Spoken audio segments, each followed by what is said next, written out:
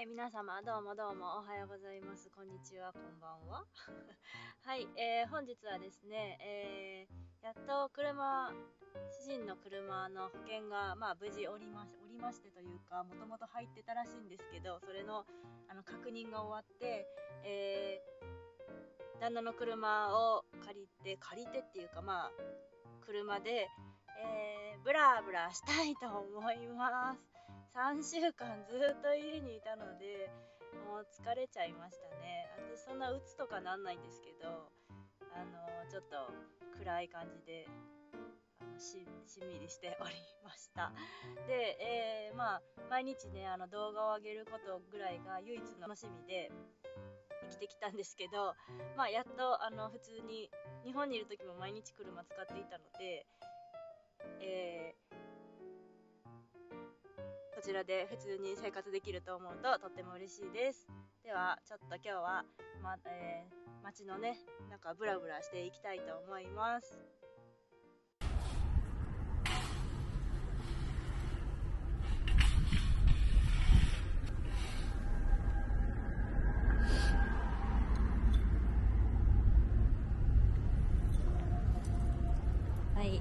この前も来ました。TJ マックスです。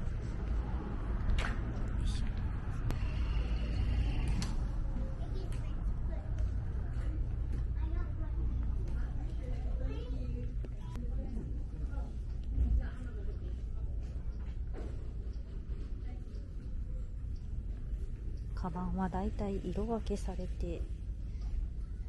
並んでおります。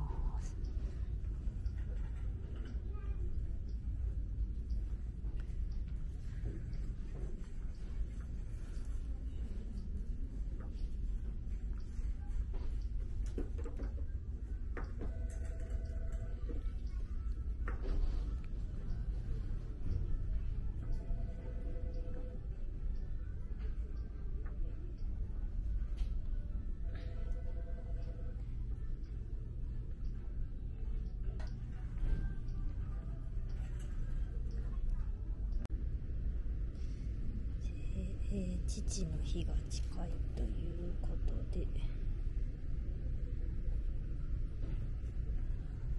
Father's Day